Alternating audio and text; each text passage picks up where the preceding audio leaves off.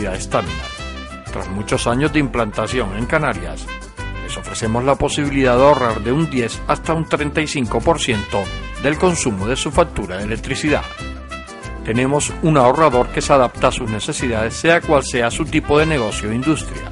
Muchos ahorradores puede encontrar en el mercado, pero solo Stamina ha demostrado su eficacia. No deje que los gastos abusivos de electricidad afecte su economía de negocio. Pídanos presupuesto sin compromiso al 928-481-249. Ahorrador de energía Staminal, la solución a sus problemas de exceso de consumo. Ahorre de un 10 hasta un 35% de su factura de electricidad.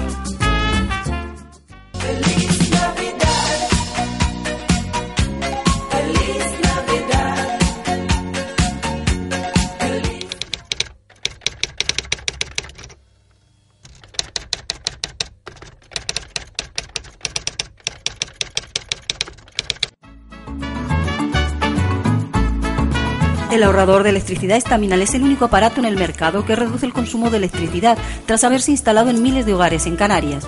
No deje que su factura de electricidad afecte su economía familiar. El ahorrador estaminal le garantiza una reducción de un 10 hasta un 35% de su recibo de luz.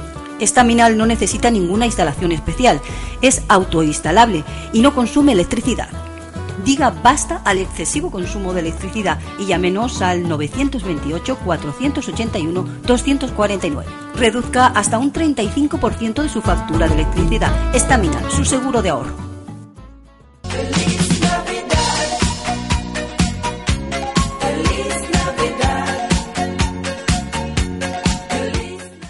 Hola, buenas noches. Empezamos aquí el enfoque. Hoy en un especial de Navidad.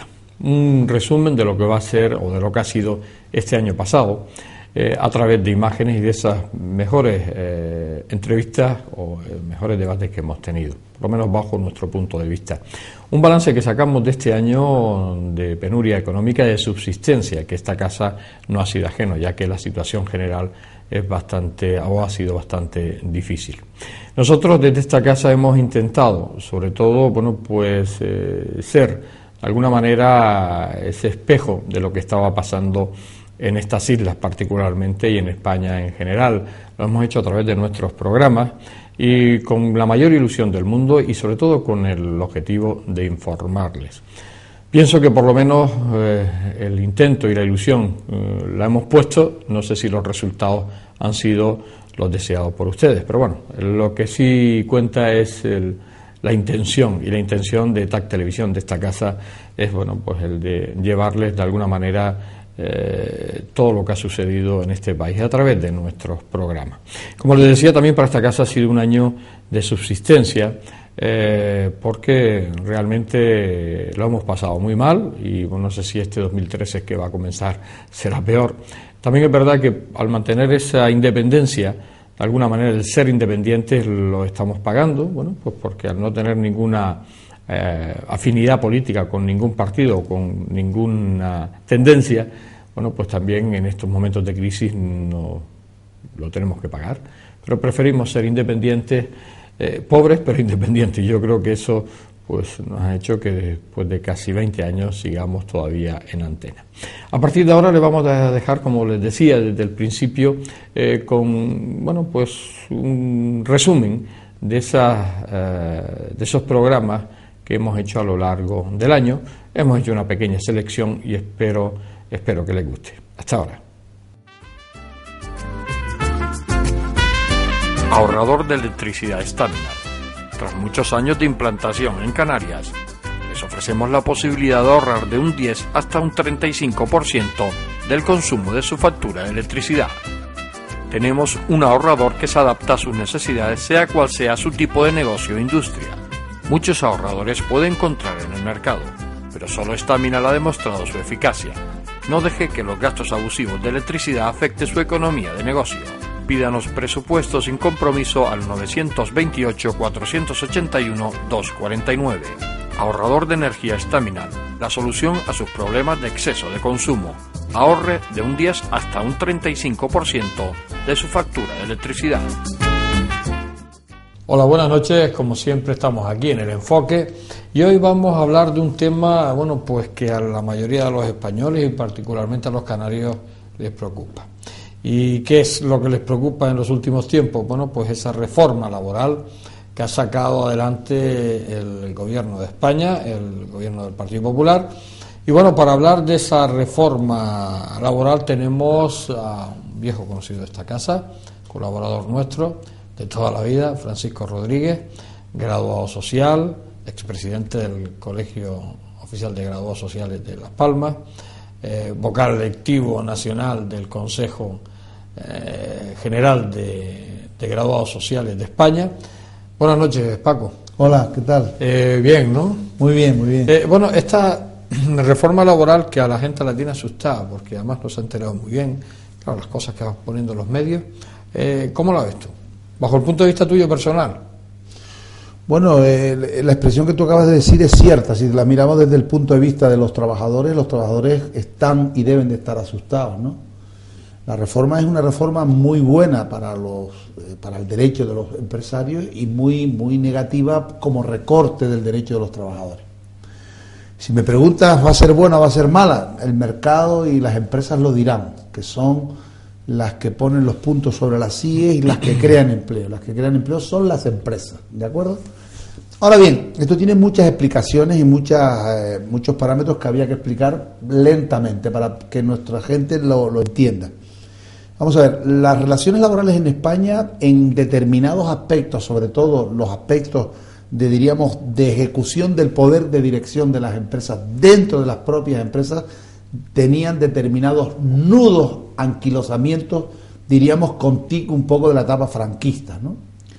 Pongo por ejemplo que para modificarle un horario a un trabajador o una función dentro de su propio grupo profesional, pues prácticamente había que hacer una negociación con ese trabajador, argumentar razones económicas, técnicas o productivas. Si el trabajador no estaba de acuerdo con eso, podía in- interponer la correspondiente. O sea, en definitiva, no estábamos siendo prácticos y las empresas necesitan, en determinadas cuestiones, necesitan legislaciones flexibles. ¿Qué ocurre? Que el gobierno del Partido Popular, por supuesto, legítima y democráticamente, ha aprovechado la crisis económica mundial que existe y la grandísima crisis económica nacional que existe y más en nuestra tierra, pues para mm, donde se debería haber hablado de flexi seguridad, ahora hablamos de flexi inseguridad. Y no lo dice el señor Rubalcaba, lo digo yo que conozco esto un poco también, ¿de acuerdo? ¿Por qué? Porque, hombre, se ha aprovechado la reforma, por ejemplo, para rebajar el despido, que como sabes, estaba en 45 días para todo el mundo, excepto para los despidos económicos o productivos, por razones económicas, técnicas, organizativas o productivas, que estaba en 20 días por cada año de servicio con un máximo de 12 mensualidades. Antes teníamos 45 años por cada año de servicio con un máximo de 42 mensualidades. Es cierto que es una cuantía del despido carísima, altísima, de las más altas de Europa solo nos supera, creo recordar, Suecia en determinados, en determinados aspectos, porque puede llegar hasta 93.333 euros, y algún que otro país por ahí, pero España era de los países europeos con un mayor coste por despido. Y eso lo sabía todo el mundo, y el gobierno ha legislado, y creo en ese aspecto que ha legislado bien. Que Porque además- que y perdona que te interrumpa, Paco, incluso eh, con la ley de reforma social del- de, de nuestro buen amigo Francisco Franco Bahamonde, eh, no llegó a ser 60 días, no llegó a estar Sí, sí, sí, 60 sí. días por año de servicio. Claro que sí, efectivamente. Por eso después se redujo con la la- democracia. la ley de relaciones laborales Es- Exactamente. estaba 60 días por cada año de servicio. Luego se redujo a 45 y ahora se ha reducido a 33. Pero hay que ser claro, aquí no podemos, yo estoy hablando con toda la sinceridad del mundo, le guste a quien le guste. Yo no, lo que no puedo hablar para contentar exclusivamente a los trabajadores o contentar exclusivamente a los empresarios. Yo vengo aquí a este programa que tiene mucha audiencia a decir lo que yo pienso de la reforma. Y por eso digo, las reformas, dependiendo del color del cristal con que se mire, es buena o es mala. ¿De acuerdo? Para los trabajadores es muy mala porque pierden muchos derechos fundamentales y básicos y para los empresarios es una reforma muy buena porque le da mucho más poder y le da mucha más, entre comillas, ventaja en muchas materias que no tenían antes, ¿de acuerdo? Y por eso vamos a irla explicando para que vayan nuestros oyentes entendiendo dónde está el núcleo fundamental de la cuestión.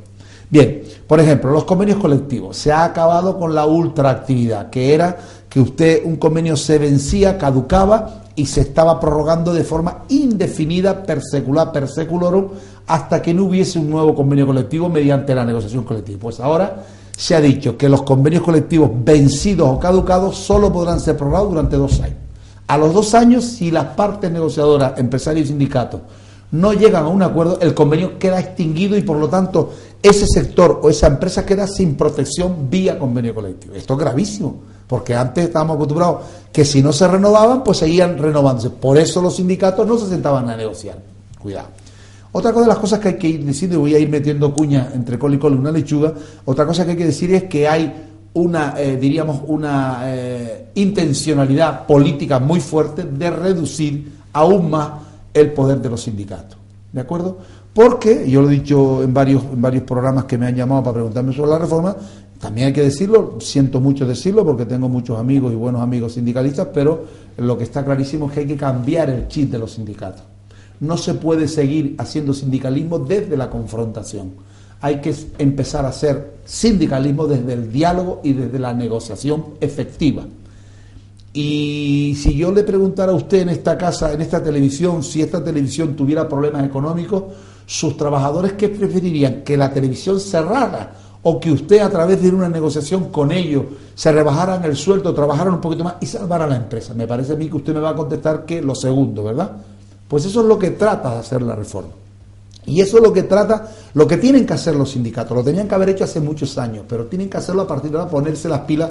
Lo que ocurre es que ahora van a estar obligados por las circunstancias y no por la voluntad negociadora de ellos.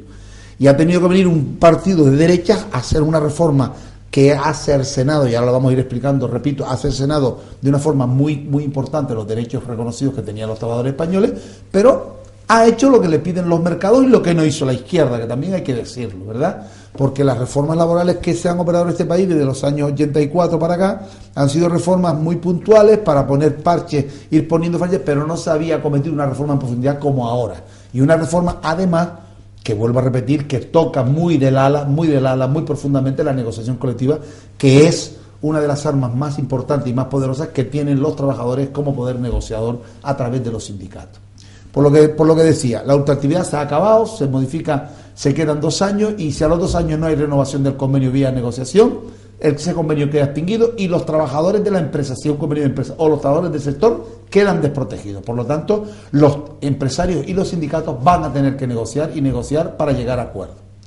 En, en cuanto a la formación, se ha mejorado, se reconoce el derecho de 20 horas anuales a los trabajadores para formarse en aquellas actividades y conocimientos propios de su categoría profesional, esto es interesante.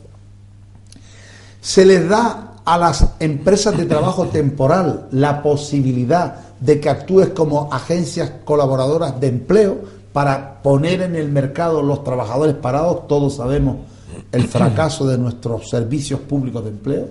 No se ha vertebrado un verdadero servicio público de empleo que coayuve a poner en el mercado la cantidad ingente de parados que hay en este país, en concreto en España más de 5 millones y en Canarias más de 300 mil, y por lo tanto ahora lo que hacen es ampliarle las competencias a las empresas de trabajo temporal para que las empresas de trabajo temporal también colaboren como eh, una colaboración semipública y privada, colaboren en el mercado de trabajo para sacar de las personas que tengan que estén anotadas en esa ETT, sacarlas al mercado, lo mismo que hacía el antiguo INEM o el actual Servicio Canario de empleo.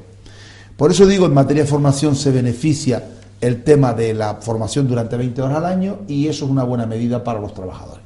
Luego también se lleva a cabo, aunque esto ya es un tema que se ha venido haciendo durante muchos años, una fuerte campaña de lucha contra el fraude en las prestaciones por desempleo. Sabemos todos que mucha gente lo dice de forma jocosa, pero tiene un cierto sentido, ¿verdad?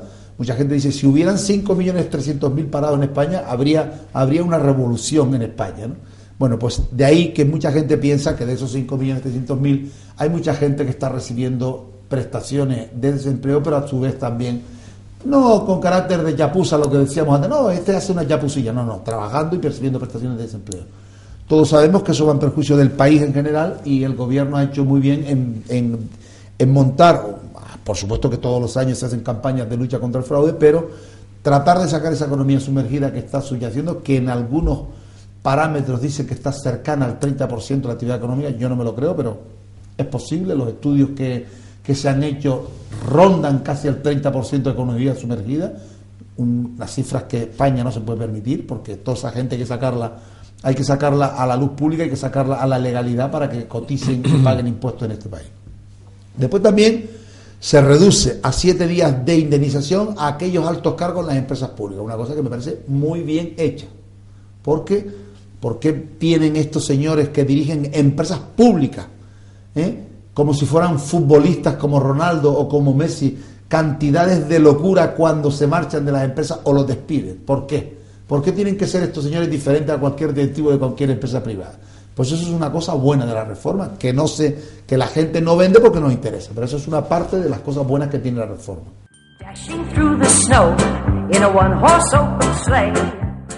Hola, buenas noches. Empezamos aquí el enfoque en pleno, en pleno septiembre con, con calor. Eh, el verano nos ha ido de estas islas y bueno, prácticamente eh, la capital Gran Canaria y casi en el resto de la isla de Gran Canaria empieza, empieza el verano fuerte.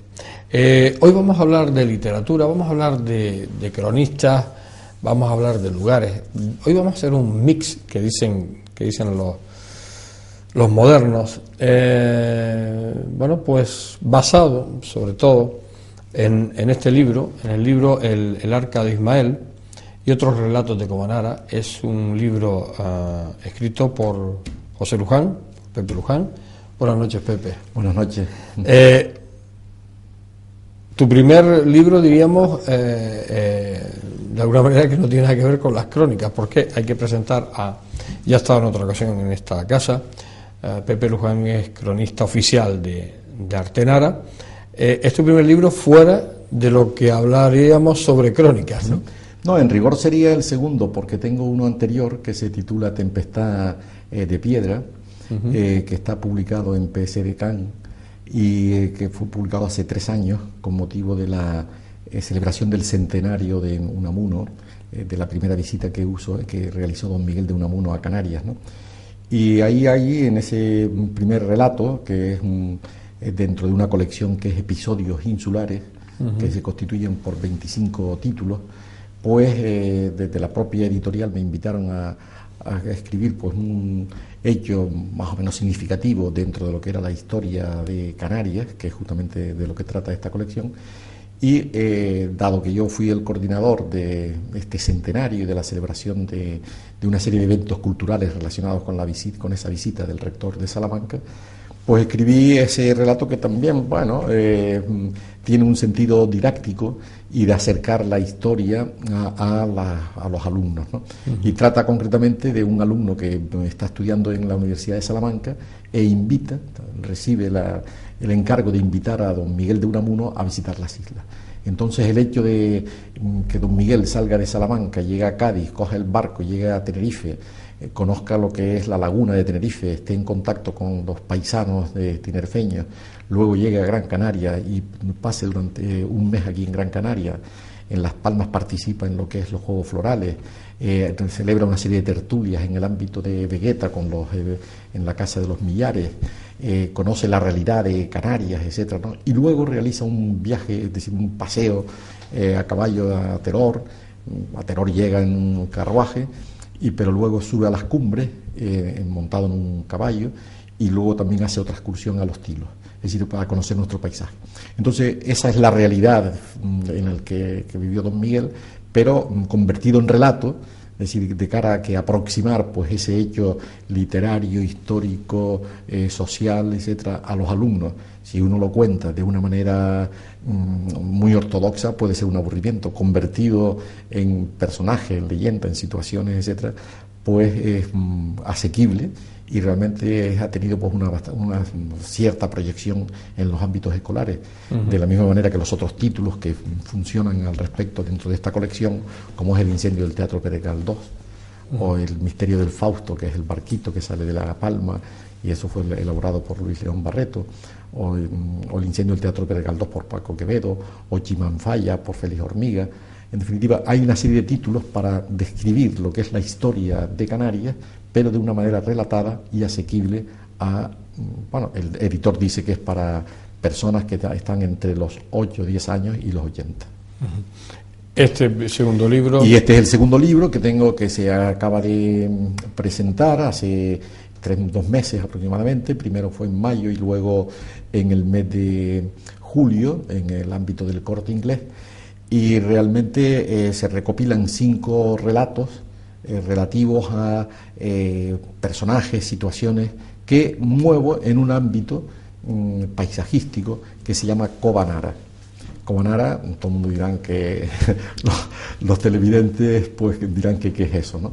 Pues es un espacio mítico, es un espacio de fantasía, de la misma manera que García Márquez eh, pues creó Macondo, mm, o, Juan Rulfo pues Comala, y otros escritores, pues, eh, no sé, Clarín, pues, eh, creó Vetusta, para hablar de Oviedo y la Regenta, en definitiva, son espacios eh, de fantasía en los que mueven los personajes. Se mueven en una serie de personajes que ahí también entra lo que pueden ser personajes de ficción y personajes de realidad. Pero el hecho de que ya pasen a lo que es el ámbito narrativo, ya uno está jugando con el propio espacio jugando con los propios personajes y también el lector se presta a ese juego. Es lo mismo que sucede cuando vamos al teatro, donde nos van a tomar el pelo las personas que están en el escenario. Entonces nosotros como espectadores de un eh, de una escenificación, de unos sketches, de una serie de, de cuadros o, de una obra completa, estamos asistiendo a eh, esa ficción. Eh, y justamente yo lo que quería decir es poner sobre la mesa un nuevo registro de, creación mm, paralelo, es decir, que distinto al, al habitual que, eh, que, suelo hacer y solía hacer y, y, continúa haciendo, que es la elaboración de las crónicas. Eh, ¿Por qué te decides escribir este libro? ¿Cómo se te ocurre? Sí. Hay, mm, eh, para empezar, eh, yo soy un hombre de la palabra, es decir, por profesión, eh, por profesor de literatura, estudié filosofía y letras en la Universidad de La Laguna, me ha gustado leer siempre, ¿no? Y voy a contar, pues, una, el otro día, pues me preguntaban que cómo descubrir la literatura, ¿no? Y entonces em, yo pienso que hay una determinada sensibilidad, hay personas que tienen un pensamiento simbólico y otras personas que tienen un pensamiento práctico. Las personas del pensamiento práctico pues, son las que les gusta pues, eh, trabajar las cosas muy concretas y, las personas del pensamiento simbólico son las que van buscando algo distinto en, esa, en, una realidad. Yo tenía nueve años, eh, estaba en Artenara y todas las semanas eh, iba pues, un vendedor de pescado y se anunciaba, como todos los vendedores de pescado en los pueblos, eh, pescado, pescado fresco de agaete y tal, ¿no? Yo tendría nueve, diez años por ahí. Yo decía, caramba, me, hacía esta pregunta internamente, ¿por qué este, eh, este pescadero sabe que el pescado de agaete podría ser de Galdar, podría ser de la aldea, porque el pescado eh, va libre en el mar y tal, ¿no? Entonces un día se lo pregunté, Antoñito y tal, ¿y usted qué, por qué dice que el pescado de, de agaete y entonces el, ni corto ni perezoso, es decir, con una habilidad tal, se acerca a la cesta de pescado, coge una escama, como si fuera la hostia de una hostia sagrada, la levanta y dice, fíjate, mira, mira el manto de la Virgen de las Nieves. Y me quedé mirando, y efectivamente, allí estaba el manto de la Virgen de las Nieves en aquellas estrías que formaban las escamas y tal. ¿no? Y desde entonces no he dejado de ver el manto de la Virgen de las Nieves en lo que son las escamas de pescado. Entonces, el ver esa otra realidad, el mm, ir más allá de lo concreto, es justamente lo que le lleva a uno a, eh, a, escribir, a leer, a participar de ese mundo de imaginación que eh, no es distanciarse de la realidad, sino al contrario, es ir más allá de la realidad. Manuel Pador no tiene una obra que se titula eh, La otra realidad, es justamente, y él habla de los árboles de luz, el árbol de luz, cuando va paseando, cuando paseaba por, el, eh, por la playa de las canteras. Y concretamente a la hora de escribir el primer cuento que data del año 73, estaba yo en la, en la laguna y hubo un concurso literario convocado por el Ayuntamiento de Tejeda con motivo de la fiesta del almendro en flor y yo digo, pues caramba, pues me voy a presentar y creé unos personajes y tal y justamente pues era un pintor que llega a las cumbres a pintar un paisaje y en ese paisaje, en ese lienzo lo que dibuja son unos caballos alados que son los que están en el mural de la iglesia de Artenara, es la simbología de, eh, bíblica de Elías llevado al cielo en unos caballos de fuego, y entonces todo eso literaturizado de tal manera que en lugar de Elías era el pintor. El pintor pinta con tal realismo aquellos caballos que en un momento determinado, cuando ya casi te culmina el, cablo, el, cuadro, se ponen, relinchan esos caballos, están vivos y el propio pintor es llevado al cielo y se convierte en una estrella rutilante.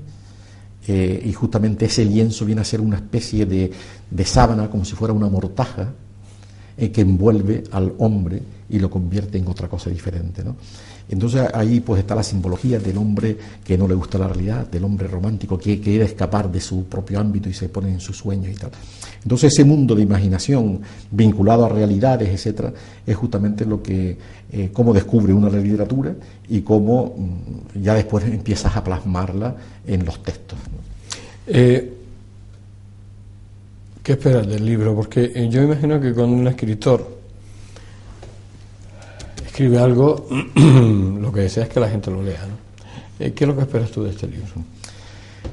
De este libro y de todos los libros que he hecho, es decir, que por H por B no, no voy ni a presumir de, de, los que he escrito, pero se ha ido acumulando, porque también uno ya va entrando en edades, ¿no? y a los 60, 62 años, 62 años que cumpliré el mes próximo, en octubre, eh, realmente se va acumulando pues una serie de, de, actuaciones. ¿no? Un constructor ha hecho 20 casas y un arquitecto pues ha dibujado y ha proyectado uh, otras tantas o 40 y un eh, ingeniero pues ha hecho pues, cinco carreteras y ocho puentes y tal, pues una persona de las letras lo que ha hecho pues escribir y en el haber pues mío ahora mismo pues hay unos 15 libros aproximadamente. son bastante. En cuanto, tanto, en cuanto a crónicas, después hay muchos artículos, cada 15 días pues publico una columna en el periódico, en la provincia, Piedra Lunar, que en esta segunda etapa pues ya tengo 180 columnas escritas y una anterior que había 110. En definitiva, detrás de toda esta producción, no solamente de este libro, sino de esta producción, eh, yo lo, simplemente lo que espero y a lo que aspiro, no es a ningún ego personal, que con eso no se, no se va a ningún sitio, ningún tipo de reconocimiento, sino establecer un diálogo, el diálogo con la gente, el diálogo con los lectores. Mm, pero un diálogo no solamente ya de los sentimientos, de, la, de, los, de los aspectos que uno pueda dibujar o trazar eh, en el propio libro a través de una psicología de personajes o de situaciones etnográficas, etcétera, ¿no? sino el, que una vez leído ese libro o consumido por parte de los lectores, cuando me ven por la calle, en Artenara, en un camino de la isla, en Cruz de Tejeda, en la calle de Triana, etcétera, mm, es el motivo para hablar.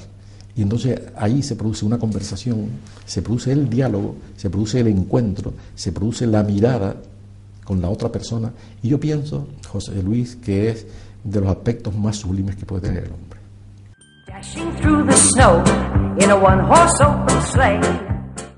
Hola, buenas noches. Empezamos aquí el enfoque. Como siempre, con ganas de informarle, con que pasen un buen rato y sobre todo con el aspecto informativo de este programa. Hoy vamos a hablar, eh, bueno, pues vamos a hablar de literatura, vamos a hablar de investigación, vamos a hablar de muchísimas cosas.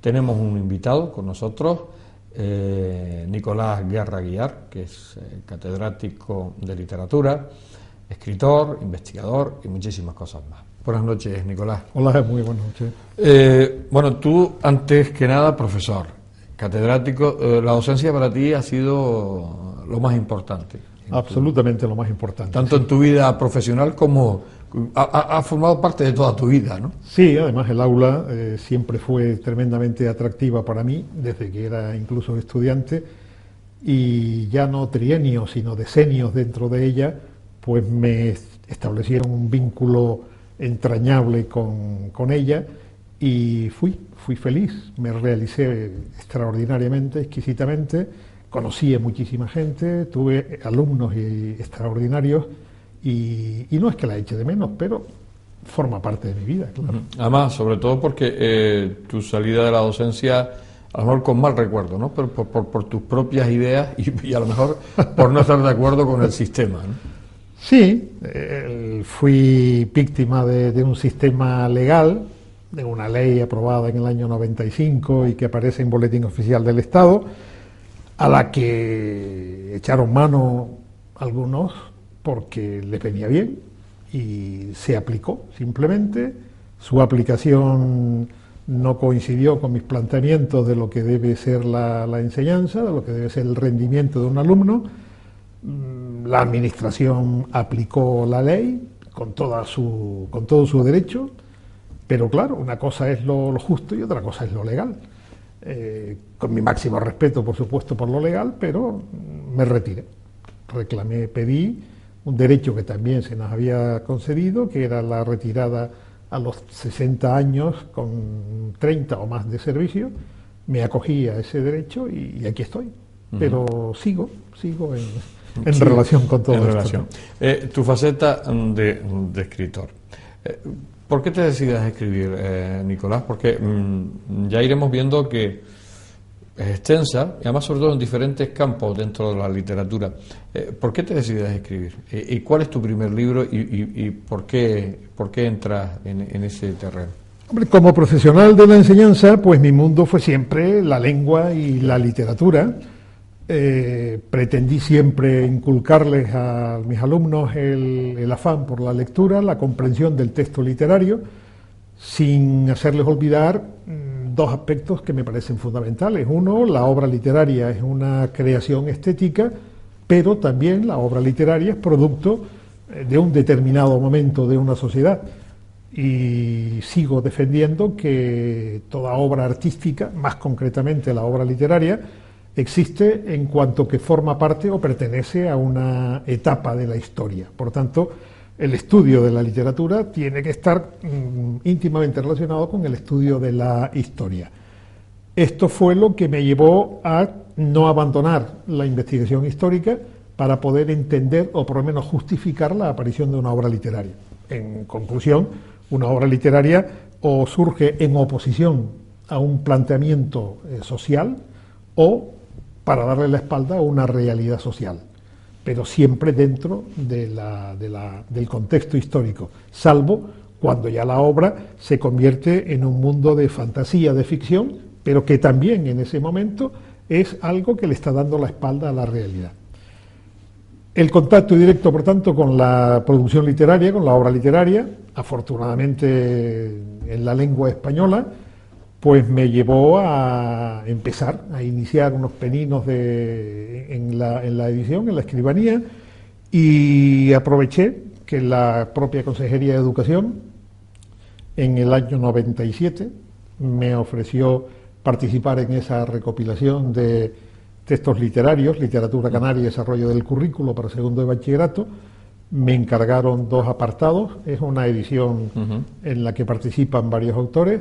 Bueno, yo no sé me encargaron dos apartados y, y ahí empecé.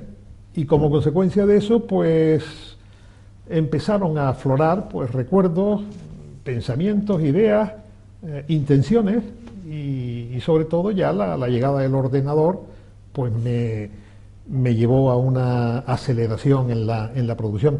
De todas maneras, yo siempre había participado como articulista en periódicos, desde el Día en Tenerife o el, el Diario de Las Palmas aquí, incluso alguna vez en el Eco de Canarias, el desaparecido Eco de Canarias. La falange llamada anteriormente. La ¿no? falange, efectivamente, que fue oscureciéndose, desapareciendo allá en el horizonte. a medida- a medida y que- aparece el, el rojo intenso del eco de Canarias, en efecto.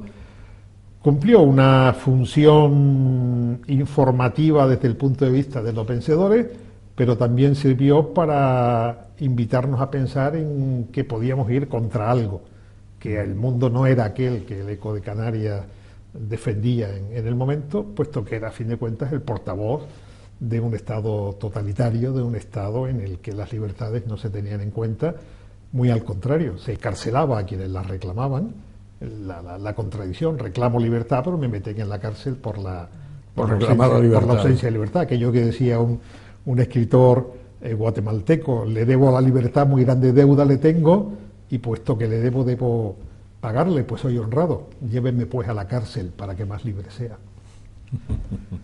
Eh, empiezas tu, tu, tu uh, carrera de escritor. Eh, Hablamos de los consejos, los tres consejos de guerra fue tu primer libro después o Eh, sí, sí, efectivamente. este, sí. este, este libro que tres consejos de guerra y un consejo de paz eh, fue polémico, eh, incluso cuando sale, porque además estos consejos de guerra que eh, debo decir que yo del primer consejo de guerra recuerdo porque además era yo vivía en, justo frente al castillo de Mata, era el consejo de guerra de, Fernando Sagaceta, que era amigo de, de mi madre, y, yo con cinco años pues viví aquella historia. Más iba viviendo lo que salía en el periódico, lo iba leyendo yo con cinco años, que es mucho.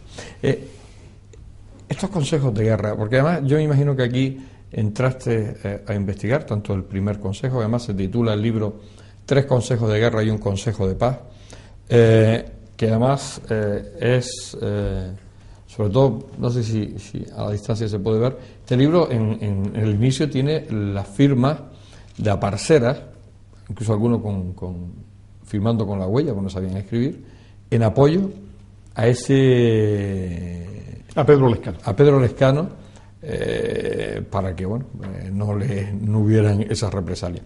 Eh, ¿Cómo fue estos consejos? Que tú lo, lo has investigado, lo has escrito.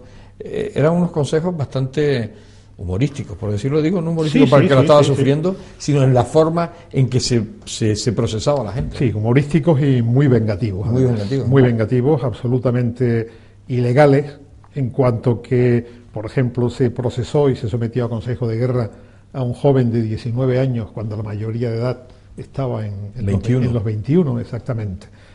Yo fui compañero de Salvador Sagaceta en el Instituto Pérez Galdós y mm, viví directísimamente el drama por el que Salvador estaba pasando. No olvidemos que Salvador tiene o tenía el apellido Sagaceta, es decir, sobrino de Fernando Sagaceta, el cual en el año 62, junto con otros eh, compañeros eh, de ideología y de pensamiento, habían defendido el tema de Canarias independiente, habían hecho manifestaciones, habían sacado eh, panfletos a la calle, habían hecho algunas pintadas, pero sobre todo tenían la idea de que Canarias podía ser independiente, un derecho legítimo en cuanto se trata de un pensamiento. Fueron detenidos, sometidos a consejo de guerra y condenados todos entre los años de Fernando y meses de- del último, todos salvo uno, que al que se le consideró pues eh, libre de toda sospecha y de toda mala conducta en, en aquel momento. Esto fue en el año 62. En el año 66, Salvador Sagaceta, con 19 años, tiene una página, Luz Verde a la Juventud, en el Diario de Las Palmas. En ella publica eh, un poema de Pedro Lescano titulado Consejo de Paz. Poema que teóricamente había sido eh, premiado en un certamen literario en el gabinete, el gabinete literario, y digo eh, supuestamente en cuanto que luego descubrí que entre el poema premiado y el poema publicado por Pedro Lescano en el año 65, pues había notables diferencias, no entro en calidades estéticas ni literarias, pero notables diferencias de contenido. Afortunadamente el fiscal militar no hizo esa investigación, no contrastó, porque la pena hubiera sido mucho mayor para, para todos los,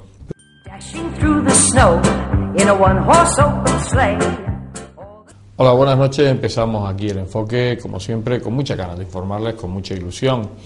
Después de tantos años, eh, la ilusión no acaba, a pesar de los momentos malos que estamos pasando y que nadie escapa de ellos. Pero como ustedes vieron, hoy vamos a hablar, como vieron en el cartel de presentación del programa, vamos a hablar un poco de economía, vamos a hablar de crisis, vamos a hablar de situación económica, vamos a hablar de empresas, que es, que es la madre del cordero, porque eh, si no hay empresas no hay trabajadores y eso es uno de los conceptos que debemos tener muy claro. Y tenemos, como siempre, un invitado, en este caso, un viejo conocido nuestro de esta casa, eh, como es Sebastián Grisaleña, que es el actual presidente de la Confederación Canaria de Empresarios. Buenas noches, Sebastián. Hola, muy buenas noches. Digo que, bueno, momentos malos, momentos eh, eh, malos para la empresa, ¿no? Porque eh, aquí no se da cuenta, quien se tiene que dar cuenta que la empresa es eh, la madre la madre de todas las madres, ¿no? Si no hay empresa no hay trabajadores y, y las empresas, sobre todo las pequeñas y medianas empresas, en estos últimos tiempos ha sido un abandono total de ellas. ¿no? La base de la economía son las empresas y empresas privadas, no públicas. No públicas. El error tal vez muchas veces es el exceso en, un- en momentos determinados de exceso de empresas públicas. Por tanto, la empresa privada es la que genera riqueza, puesto de trabajo, paga impuestos, asume el, el- empresario muchísima responsabilidad que muchas veces pues se arruina ¿eh? o invierte un dinero con la mejor ilusión del mundo, las cosas van mal, se tuercen y al final lo pierde todo. Por tanto, el ser empresario es lo más bonito que hay, y lo digo con esta franqueza, y hoy en día, y hoy en día, como la que nos está cayendo, todavía mucho más mérito. Hay, cada vez que hay un emprendedor nuevo, una persona que expone su dinero, su tiempo, eh, digamos, su formación para abrir una nueva empresa con esa ilusión, yo diría que más que mérito hay que ponerle una medalla. Eh, ¿cómo, ve el presidente de la Confederación Canaria de Empresarios ahora mismo la situación económica, sobre todo en Canarias, que es la que nos eh, interesa? ¿Cómo lo está viendo? Esa crisis que lleva, bueno, pues que va camino mm, para, para largo. Estamos hablando desde el año 2008, 2007, que ya se olía, Final, aunque, final, aunque final final del 2007, aunque en aquellos momentos los que gobernaban el país decían que no había crisis, sino era una desaceleración económica. Además nos costó trabajo aprendernos la palabra. Eh, ¿Cómo lo ve ahora mismo ah, el presidente? Canarias es una economía siempre mucho más débil que cualquier economía de, eh, digamos, que otra comunidad autónoma española o cualquier región de la Unión Europea. Eh, somos débiles, la distancia, la lejanía, islas dispersas, un costo altísimo. Eh, muchas veces yo digo que en Madrid, en la España peninsular, nosotros somos la, España isleña, no saben realmente lo difícil que es vivir en Canarias. La frase de Isla Afortunada es muy bonita, pero en el contexto global de un costo añadido es un costo altísimo. Y esa lección eh, todavía los técnicos y muchos políticos la desconocen, por ignorancia, porque eh, la historia sabe perfectamente y define dónde está Canarias. A partir de ahí, hemos tenido históricamente un porcentaje muy superior a la media nacional de paro. Cuando el paro a nivel nacional estaba, eh, no sé, al 8%, nosotros estábamos al 12 o al 13. Hoy en día, pues tenemos un porcentaje eh, realmente muy, muy superior y eso es un hándicap.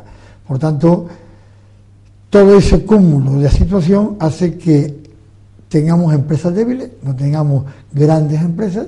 Las grandes empresas que podemos tener aquí no tributan aquí, tributan en Madrid, en Bilbao, en Barcelona o en Sevilla o en Valencia, por tanto eh, el dinero se genera en Canarias, pero realmente se tributa en otra comunidad autónoma. Por tanto, el mérito que tenemos los canarios en estos momentos de crisis galopante, con un paro del treinta y tanto por ciento en Canarias, en la provincia de Las Palmas algo más del 36%, que eso es gravísimo, gravísimo. La provincia del Tenerife menos, no llega al 30%, 29, 84, salvo error. La media es 33 y algo. Eh, ¿Por qué en Tenerife tenemos? Porque tenemos mm, menos paro en Tenerife porque hay más funcionarios. Así, así de fácil, así de fácil. Eh, por tanto, eh, estamos pasando momentos difíciles. La empresa, que aquí más del 95 somos pequeñas, medianas empresas y autónomos, eh, mucho más difícil porque somos más débiles, con uno, con dos, con tres trabajadores, y a partir de ahí, pues con una, con una, economía de escala falsa, que no la tenemos, excepto el turismo, pues al final eh, las empresas lo están pasando muy mal. Y para rematar, eh, la situación económica de falta de crédito a las empresas. Si no hay crédito, no hay consumo, el dinero no se mueve, y si no hay consumo, la situación económica va deteriorándose mucho más. De ahí que yo siempre digo, la culpa la tiene la Unión Europea que lo ha permitido, el Banco Central Europeo que lo ha permitido, el Banco de España que lo ha permitido y el gobierno, como bien decías al principio, en los primeros años de la crisis, incluso eh, ya más avanzado el tiempo, pues desde el 2007 hasta ahora ha llovido mucho, pero se dieron cuenta, el último mandato del Partido Socialista se dio cuenta el anterior presidente prácticamente un año antes de la situación, de ahí que tuvo que comenzar a tomar medidas contra el reloj, pero no suficiente, y ahora tenemos lo que tenemos, ¿eh? por tanto, ahora le estamos inyectando dinero a la gran banca, que son uno de los principales culpables, además de los que he añadido anteriormente, eh, de esta situación económica y en, definitiva son los que están llevando el dinero, pero que no lo van a poner en circulación, porque la banca también tiene muchísimas deudas eh, con ese boom del dinero barato, compra, compra, compra y construye la burbuja inmobiliaria, al final las casas se quedaron ahí, pero ellos también tienen que pagar ese dinero de prestado que pidieron a otras entidades europeas, eh, bancas americanas o chinas o europeas, y eso hay que pagarlo, sí o sí. Por tanto, la situación de la empresa canaria, al ser mucho más débil, lo estamos pasando mucho peor. Eh, ante, ante los telespectadores y la gente de a pie, eh, el escucharte, cómo efectivamente, bueno, este gobierno actual, este gobierno actual español, que, bueno, mm, empieza con los recortes, me parece perfecto, había que recortar cosas, había que tal, pero eh, por el otro lado, por el lado derecho, que es el de la incentivación de empresas, el, el de la el de crear, eh, no se ha hecho nada. decir, además, como tú decías, resulta que se le da el dinero a quien ha causado uno de los causantes principales de, este, de esta crisis y que, y que ese dinero está, eh, como tú has dicho, bien has dicho, no va a repercutir.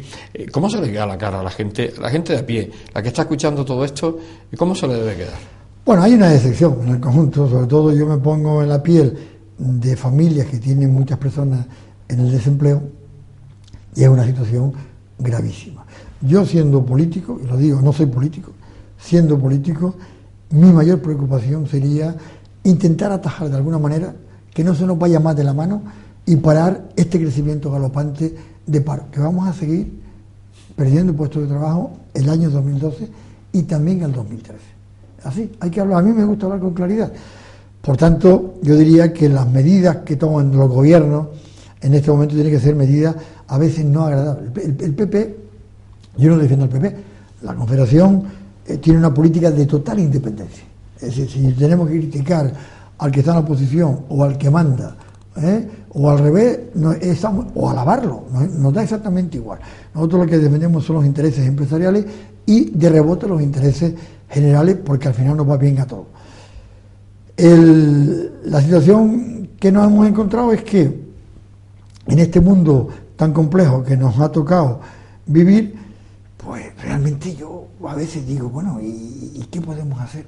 Nosotros los empresarios, si no hay crédito a la pequeña y mediana empresa, que no lo hay, la línea ICO que tanto hablamos, eh, es una línea que el banco se queda el dinero, pues no lo hace llegar, porque si te lo presta, te lo presta exigiéndote una garantía que tú no puedes, ¿eh? que por tanto es como si no existiera. Eh, ahí el Estado está haciendo un esfuerzo enorme, eh, la Unión Europea nos está exigiendo muchísimas cosas, a veces oímos, hombre, es que España no está intervenida, eh, tiene que ser eh, intervenida. No, no, mira, España ya está intervenida de alguna manera. Nos han comenzado a decir, o lo hacen ustedes o le obligamos nosotros. Entonces lo que ha hecho el gobierno es hacerlo.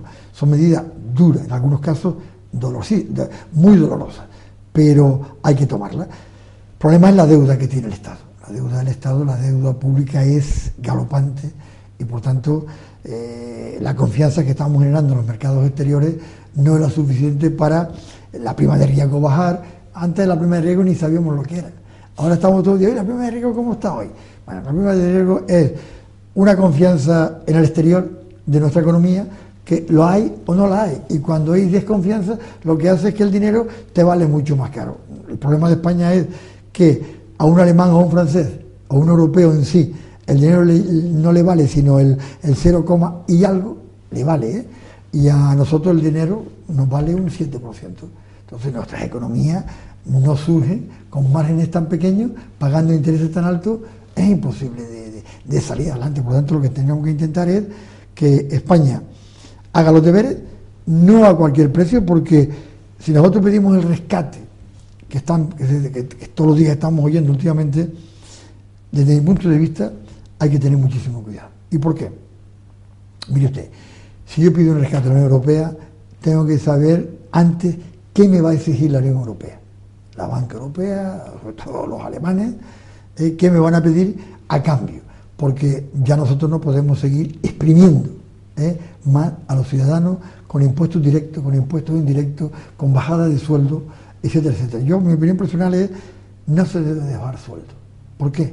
Porque el, incentivo que tiene una persona lo pierde moralmente. Por tanto, en vez de va menos, moralmente le afecta. Eh, y luego, un problema, que no hay consumo. Por tanto, lo que hay que es reactivar la economía y los estados ahí tienen que ponerse manos a la lucha porque no vamos a salir tan fácil tal y como estamos haciendo los deberes hasta estos momentos.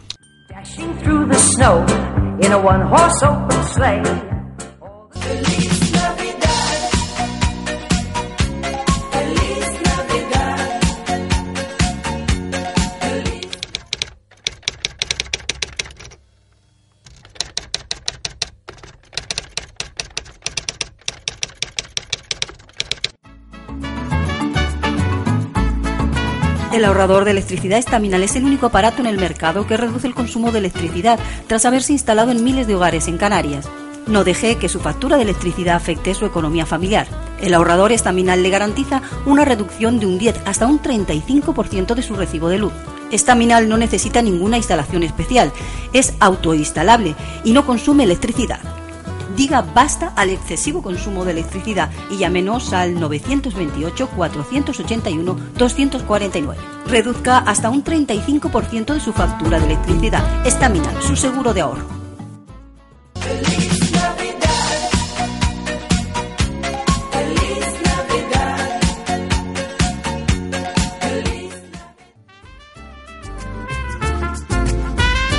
Ahorrador de electricidad Estaminal tras muchos años de implantación en Canarias, les ofrecemos la posibilidad de ahorrar de un 10 hasta un 35% del consumo de su factura de electricidad. Tenemos un ahorrador que se adapta a sus necesidades sea cual sea su tipo de negocio o industria. Muchos ahorradores puede encontrar en el mercado, pero solo Staminal ha demostrado su eficacia. No deje que los gastos abusivos de electricidad afecte su economía de negocio. Pídanos presupuesto sin compromiso al 928-481-249. Ahorrador de energía estaminal, la solución a sus problemas de exceso de consumo. Ahorre de un 10 hasta un 35% de su factura de electricidad. Bien, hemos llegado al final de este especial de Navidad. Eh, bueno, espero que les haya gustado este resumen que hemos preparado para ustedes. Y a mí pues me queda muy poco, muy poco que decirles, que bueno, que tengan una, feliz Navidad, que ese año 2013 que va, que está a punto de comenzar, pues que sea eh, mejor. Siempre hay que pedir. Otra cosa es que no lo den.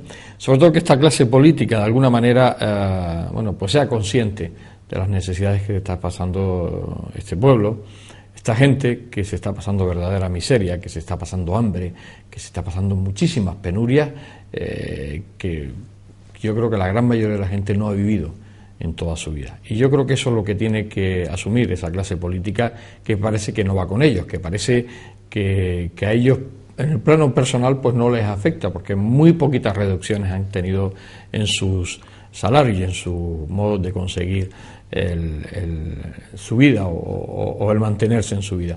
Yo creo que eso es lo que debe asumir esa clase política y concienciarse de que hay muchísima gente que está pasando hambre, muchísima gente que lo está pasando muy mal. Y a, ella, a toda esa gente, de alguna manera, desde aquí, desde el enfoque, pues nos acordamos y, también pues intentamos dar ese apoyo por parte de esta televisión.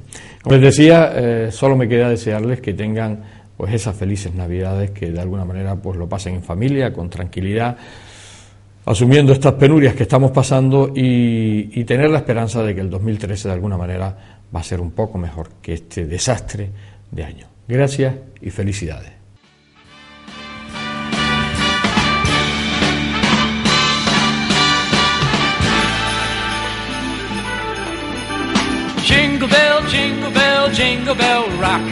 Jingle bells swing and jingle bells ring. Snowing and blowing bushels of fun.